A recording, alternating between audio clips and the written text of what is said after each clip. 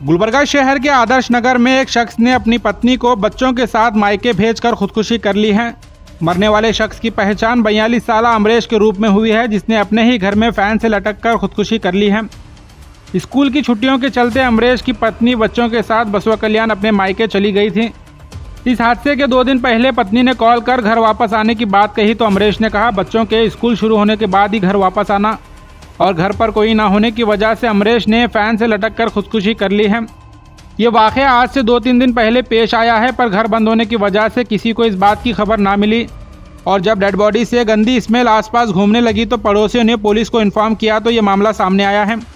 खुदकुशी करने की वजह अब तक सामने नहीं आई, लेकिन बताया जा रहा है कि किसी परेशानियों के चलते यह कदम उठाया गया है। पुलिस मौका वारदात पर पहुंचकर इन्वेस्टिगेशन कर रही है और डेड बॉडी को पोस्टमार्टम के लिए भेज दिया गया है।